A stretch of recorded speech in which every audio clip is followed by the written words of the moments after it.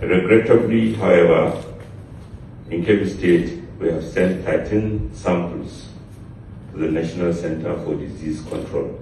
And today, Sunday, the 26th April, one of those samples was returned positive. It's a, it's a 40-year-old gentleman with travel history to Lagos.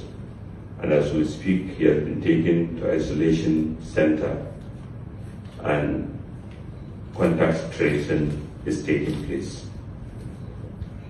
We have on various occasions stressed the need to observe all the measures uh, that have been advised, social distancing, hygiene, and mutual support for each other.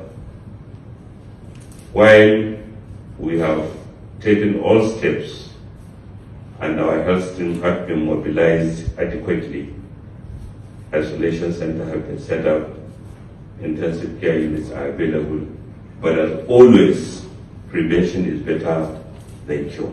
So what we had hoped is to avoid, and we hope with this index case, we pray that it will be the last.